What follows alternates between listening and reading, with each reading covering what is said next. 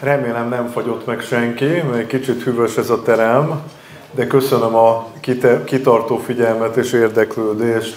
Az iskola számítógép program idén 40 éves, a Neumann Társaság meg 55, és a Neumann Társasághoz is számos verseny és egy nagyon komoly, több, több tízezer, de én szerintem az elmúlt évtizedekben már több százezer diákot érintő tehetséggondozási program kötődik.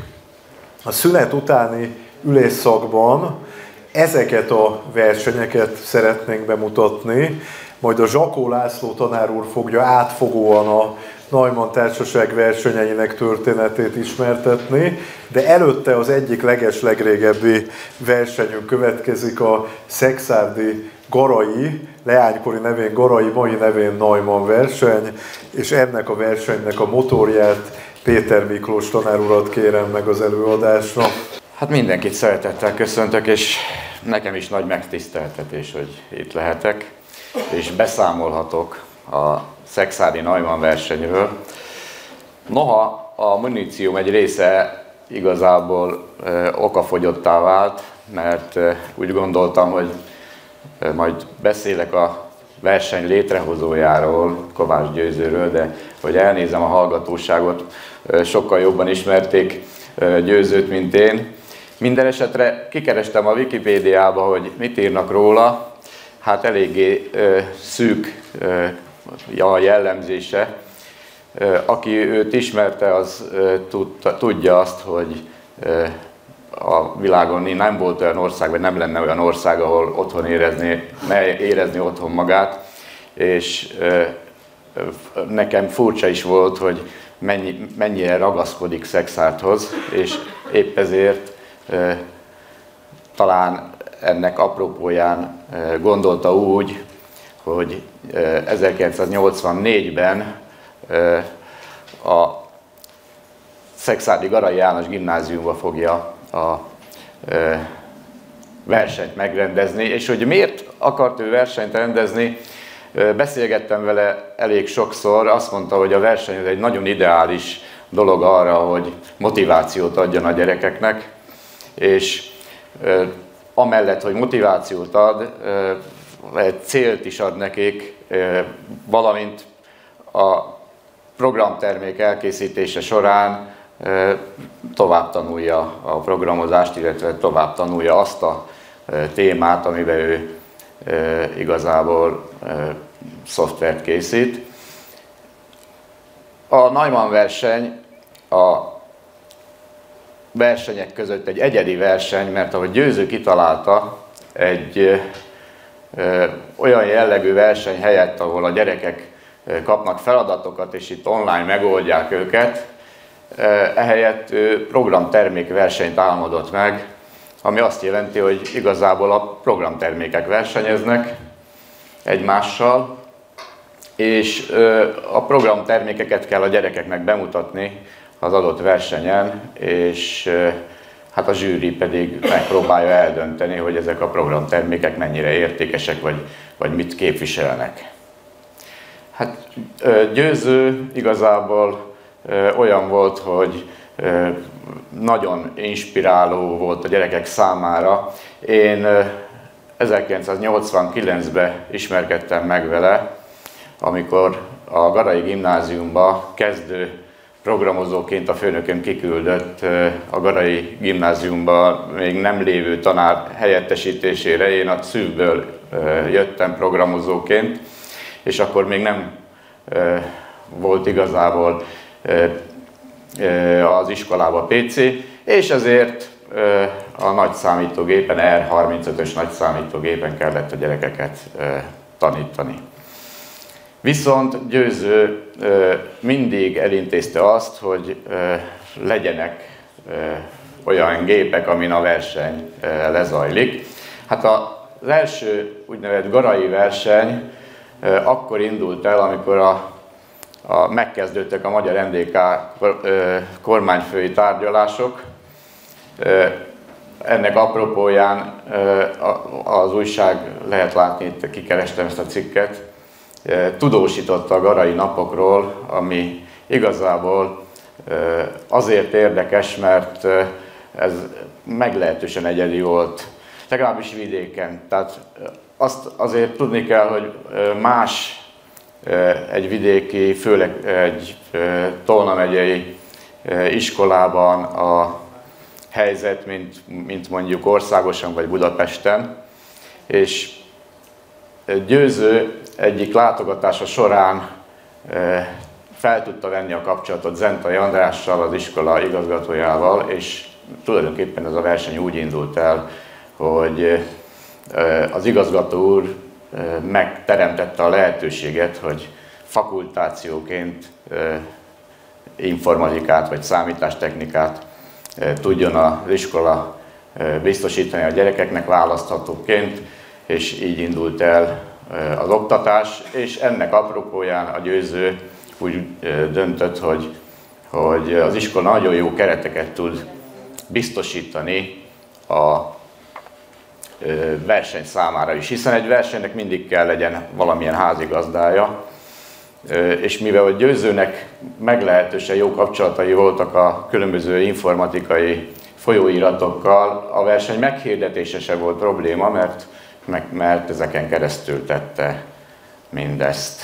Hát a garai verseny, mint programtermék verseny, tehát akkor 84-től indult, és a iskola, illetve a, a Naima János Számítógép Tudományi Társaság hirdette meg a Mikroszámítógép magazinnal közösen, és kezdetben játékprogram verseny volt. Itt, itt az egyik képen látható bal oldalt Zentai András és ugye egy győző. A harmadik ö, emberkét nem tudom kicsoda, de valószínűleg valamilyen elvtárs.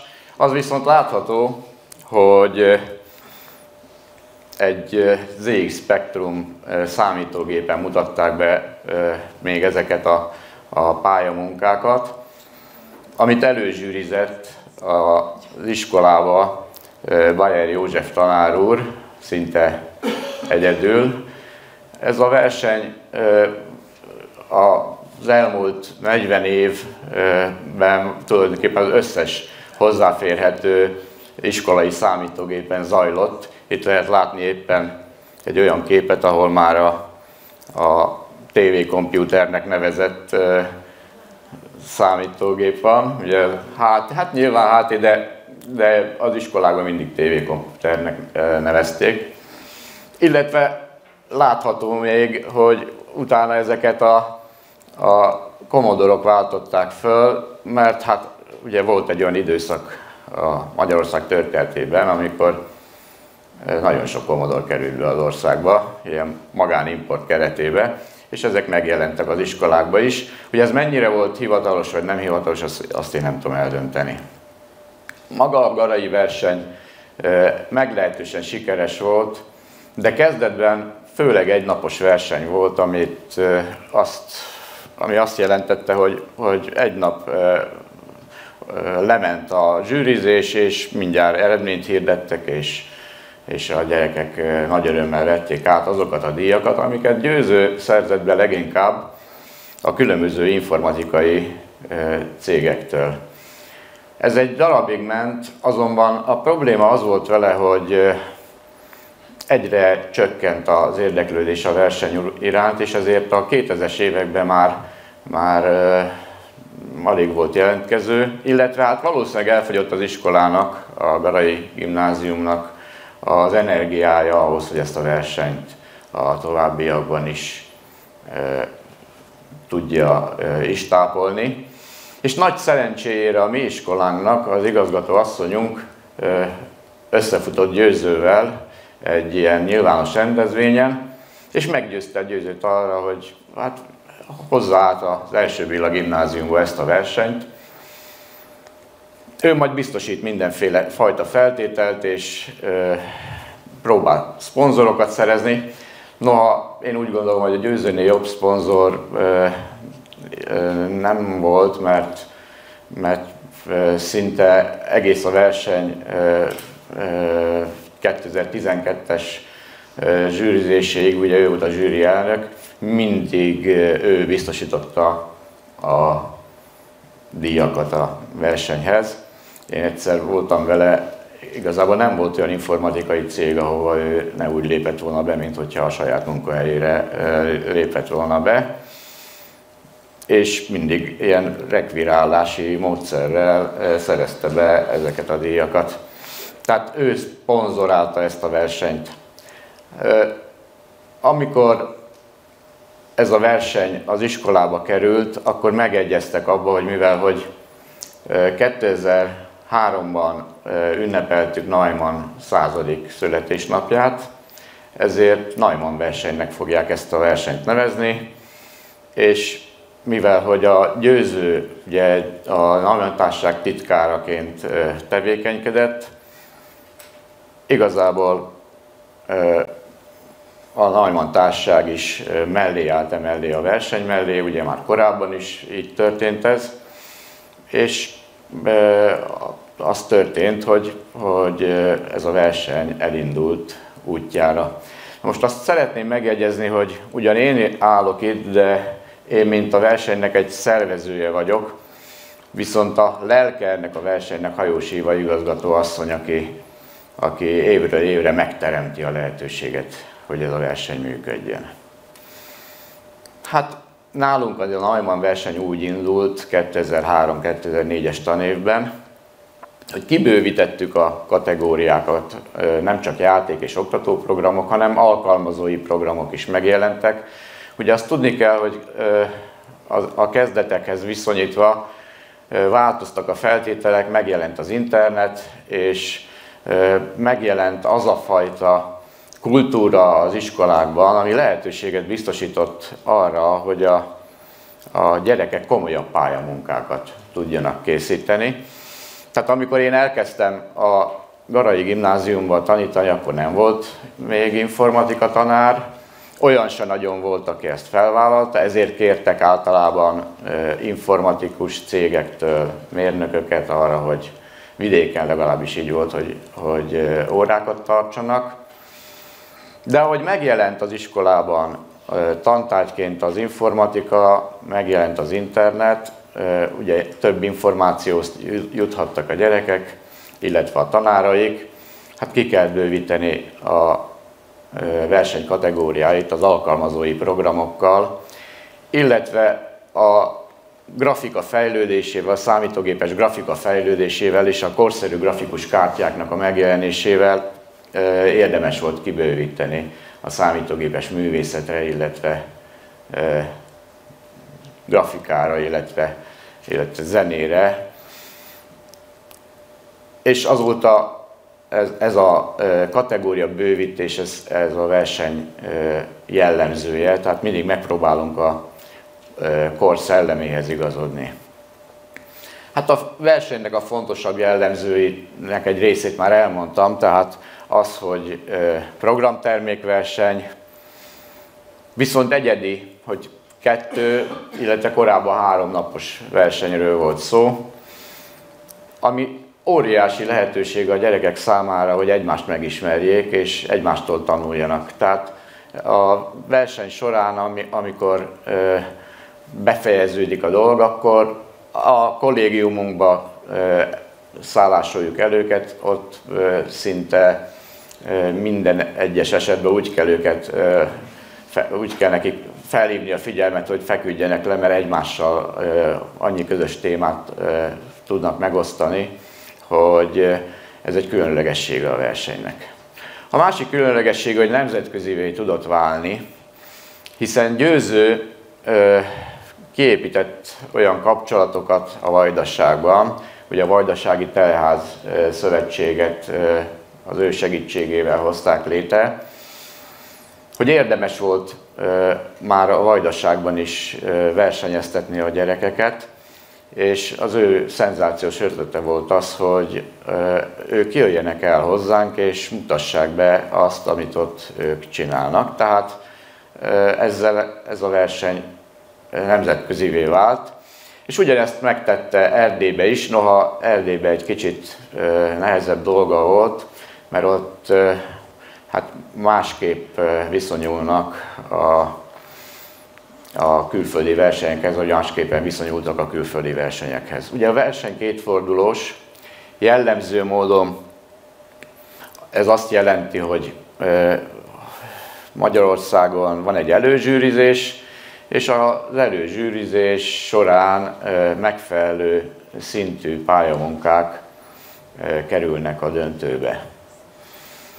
A vajdaságban ez másképp zajlik. A vajdaságban úgy zajlik, hogy, hogy van egy elődöntő, és aki a vajdasági elődöntőből megfelelő pontot tud hozni magával, akkor az bejuthat a szexárdi döntőbe. Az is egyedi volt, és ez győző ragaszkodott, hogy minden döntőbe jutott versenyzőt díjazzunk. Ez, ez nagyon népszerűvé tette a versenyt, mert aki bejutott a döntőbe, már valamit kapott. Az is jellemző módon, az is jellemző a versenyre, hogy ingyenes, tehát nem kell semmiféle fajta költséget beszámítani a gyerekeknek, tehát nincs nevezési díj, a szállás ingyenes, az étkezés ingyenes, mindezt a szponzorok biztosítják. Az is egyedi, hogy szervezési projekt keretébe kerül megrendezésre. Ez is a fejlődés eredménye, hogy amikor a verseny elérte azt a fokot, amikor már annyi nevezés volt, és annyi versenyzőt kellett elszállásolni, illetve annyi versenyzőt kellett versenyeztetni, hogy már nem tudtuk másképp megvalósítani a programot, mint szervezési projekt keretében. Büszke lehetek arra, hogy ebbe a, a szervezésben részt vehetek, hiszen ö, csodálatos pályamunkákat és, és nagyon tehetséges gyerekeket tudtam megismerni.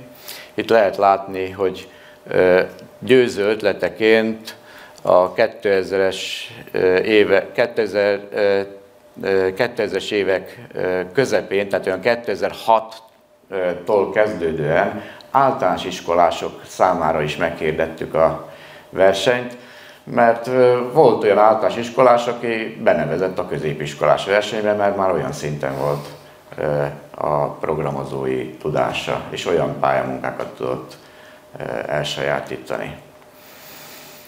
Maga a verseny folyamatosan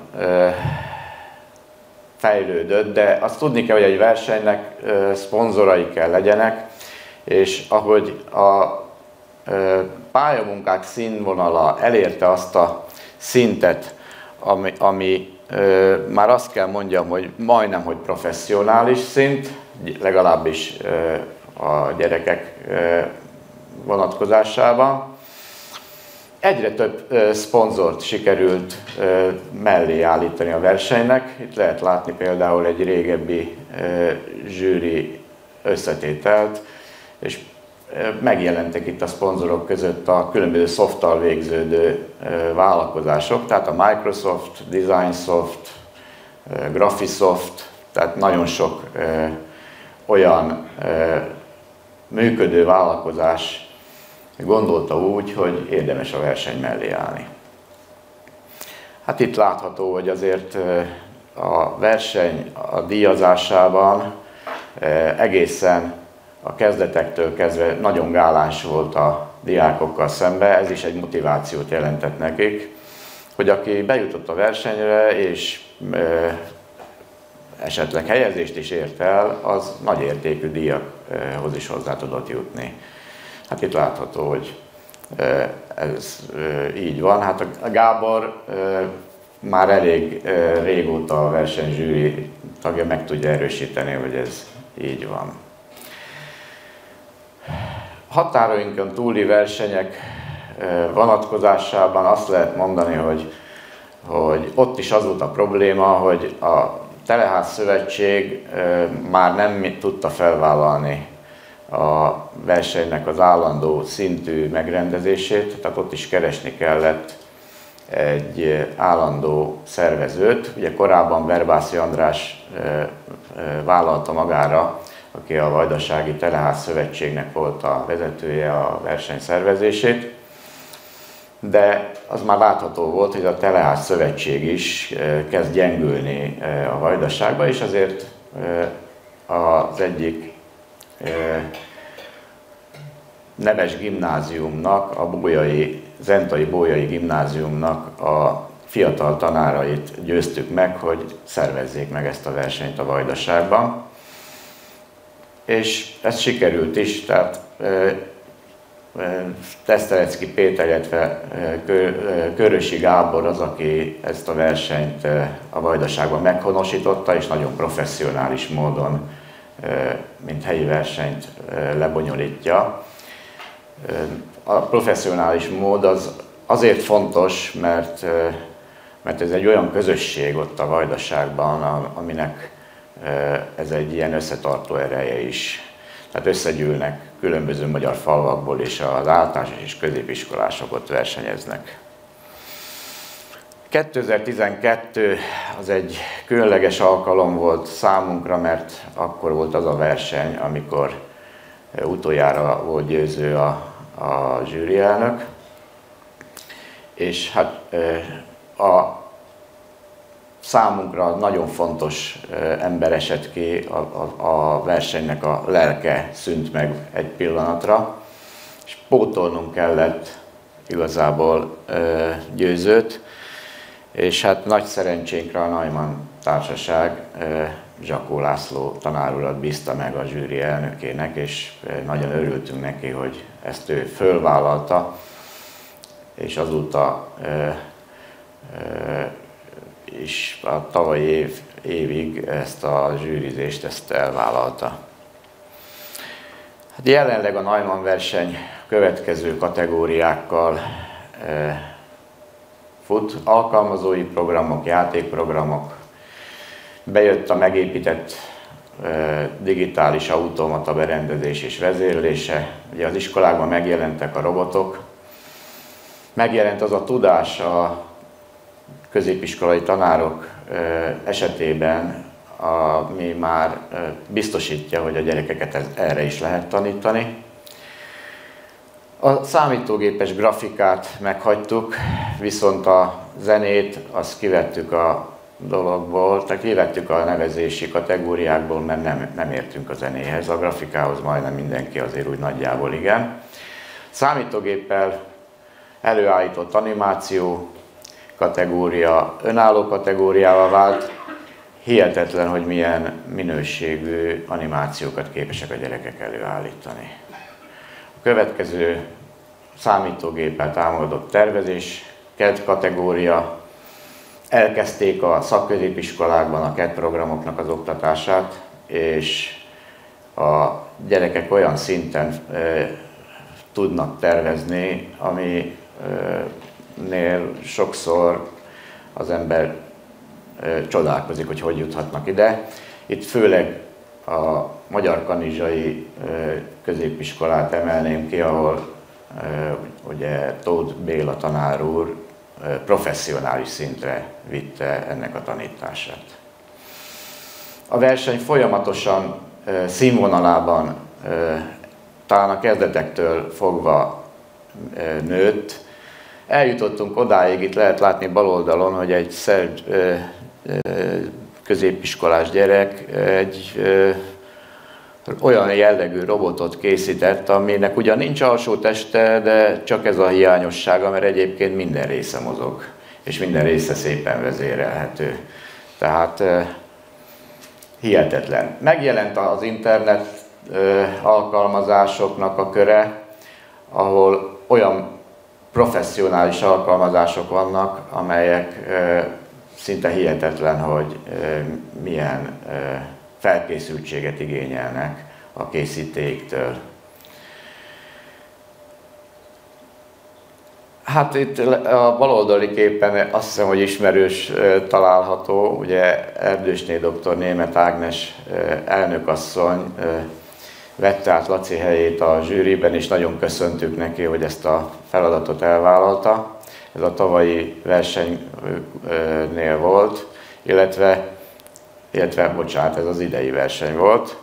Tehát az idei versenynél, és a jobb oldali képen az látszik, hogy, hogy a Neumann 120 kiállítás keretében, illetve a Neumann 120 jubileum keretében a versenyzők kiváló pályamunkákat adtak be, és itt például ennek az a, a az érdekessége, hogy a képen látható kislány és szerb kislány is kiváló pályamunkát adott be. Neumann verseny napjainkban igen nagy kihívások előtt áll. Először is a versenyzők szempontjából mondanám el, ami nagyon lényeges, hiszen ez is a, az iskolai informatika oktatáshoz tartozik, hogy azt tapasztaljuk, hogy az általános iskolákból egyre inkább kifogytak a tanárok. Tehát olyan gondokkal küzdünk legalábbis vidéken, hogy hiába van digitális kultúra, már ötödik osztálytól kezdődően egyszerűen nincs, aki tanítja, tanítsa őket, és ezért a középiskolában már nem tudjuk, vagy nagyon keveseket tudunk olyan szintre felhozni, hogy ilyen versenyen részt tudjanak venni. Ezért a versenyeknek a létszáma a mi esetünkben csökken.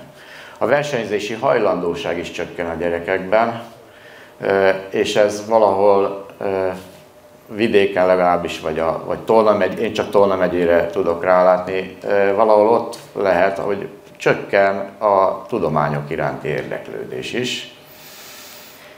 És mind a mellett a versenyzők felé egy növekvő elvárás is van, hiszen aki már olyan játékprogramot csinál, ami már nem 3D-s, és nem lehet VR szemüveggel játszani vele, akkor az már nem annyira értékes, vagy legalábbis ők úgy gondolják, hogy nem. A felkészítők szempontjából is kihívásokkal küzdködünk, mert lehet azt mondani, hogy, hogy nincs tanárhiány, de hihetetlenül nagy tanárhiány van vidéken. Ezért a kollégák leterheltek, a felkészültségük, a felkészít, felkészültségük ugyan megvan hozzá, de, de nem hajlandó, vagy nem tudnak már ezzel, ezzel foglalkozni. És nem igazából támogató a környezet és akkor röviden be is fogom fejezni. A kihívások közé tartoznak még a szponzorok. Tehát egy verseny a szponzorok nélkül nem valósítható meg, hiszen a gyerekeket el kell szállásolni, etetni kell őket, és bizony egyre inkább ez a szponzorási lehetőség azáltal, hogy az iskolákat tankerületi központok felügyelik, egyre inkább visszaszorul. Hála a Najman János Számítógép Tudományi Társaságnak azért még tudunk szponzorokat előkeresni, illetve rábeszélni, hogy, hogy támogassák a versenyt, de bizony a gazdasági helyzet sem e felé mutat.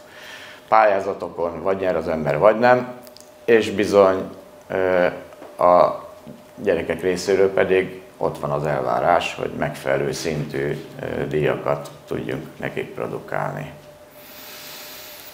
És nagyon lényeges még a technikai támogatása is a versenynek. Tehát egy versenynél már elvárás az, hogy online streameljük ki a versenyt, megfelelő számú kamerával vegyük fel, tehát olyan szinten adminisztráljuk, ami meglehetősen nagy kihívások elé állítja a versenyszervezést. Új technológiák jelentek meg a programozás terén, és ezért nagyon nehéz előzsűrizni egy programtermékversenyt, anélkül, hogy hogy biztosak lennénk, hogy nincs plágium. Tehát olyan keretrendszerek jelentek már meg a, az internetes alkalmazásoknál, ahol bizony nagyon nehéz eldönteni, hogy mi az, amit a keretrendszer biztosít, illetve mi az, amit a gyerek adott hozzá.